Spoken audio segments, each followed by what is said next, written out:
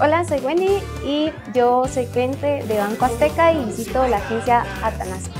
Yo tengo mi cuenta guardadito, por lo cual tiene muchos beneficios. Retiros en cajeros totalmente gratis, consultas desde la app y asistencia médica.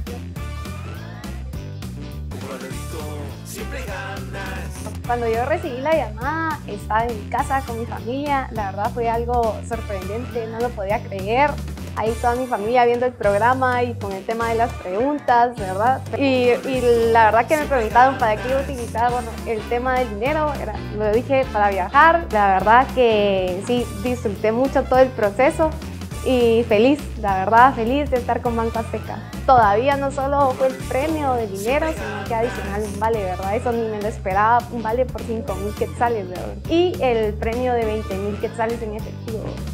Invito a todos a abrir su cuenta guardadito en Banco Azteca porque con guardadito siempre ganas.